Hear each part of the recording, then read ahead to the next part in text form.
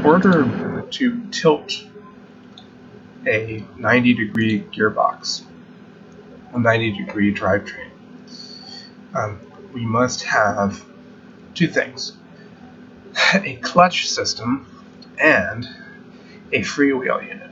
Now, the freewheel unit can be as shown here.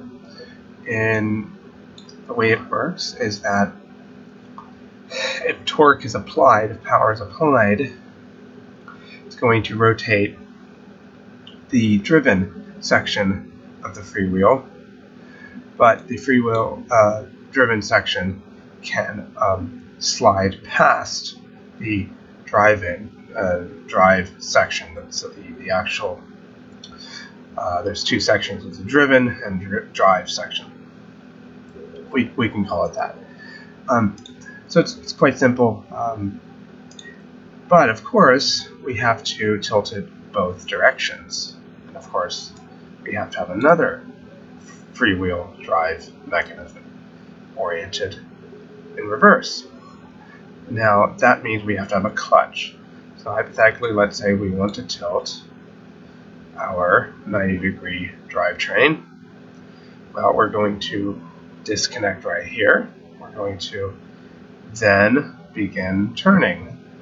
So we can turn, in this case, let us select what we want to spin, just like this. We'll begin spinning. Again, in real life, you can see it's rubbing. In real life, each of these gears would move down slightly. But here we go. You notice we must have a clutch right here. Okay. Now, let's say we want to spin in the other direction. We must have a clutch here because we can't turn in reverse. So we will go and select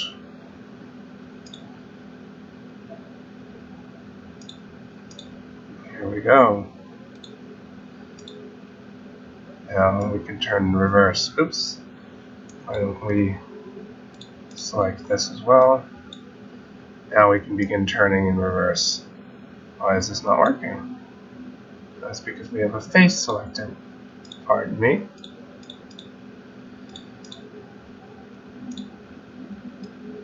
Again, you must have a disconnect clutch. Alright, now we could begin turning in reverse. Now, um, this is not ideal for continuous back and forth movement because each time we switch from uh, forward to rear, we have to engage these two clutches.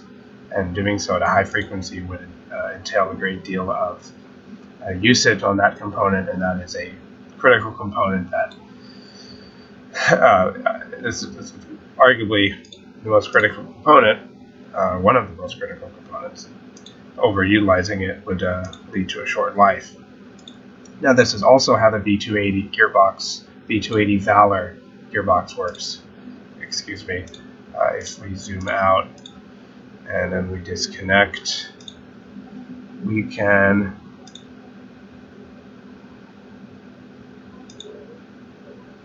see if we can find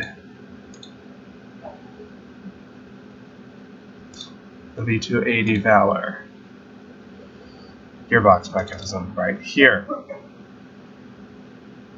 Just like that.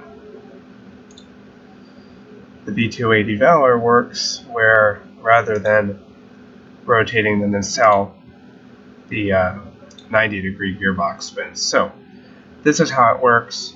Very simple system. Uh, in this case, it's oriented towards um, a sliding center of gravity rotorcraft system.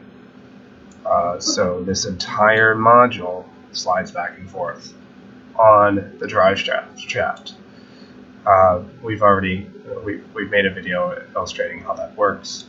The narration uh, was really not required, and I'm sure it was a crummy narration, but it, it helps to understand and visualize this rather simple mechanism.